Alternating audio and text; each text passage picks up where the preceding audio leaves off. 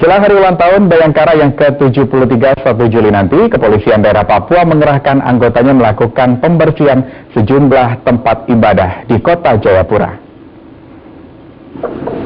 Pembersihan tempat ibadah dilakukan seluruh anggota Polda Papua yang tersebar di empat titik, yaitu di Vihara Arya Dharma, Gereja Pentakosta Haleluya, Masjid Fajrul Islam, dan Pura Agung Skyland Jayapura. Pembersihan ini sengaja dilakukan ratusan anggota Polri untuk menyambut hari ulang tahun Bayangkara yang ke-73 nanti. Selain itu juga, kegiatan pembersihan ini dimaksudkan untuk menunjukkan rasa toleransi yang tinggi antar umat beragama di Papua. Oh,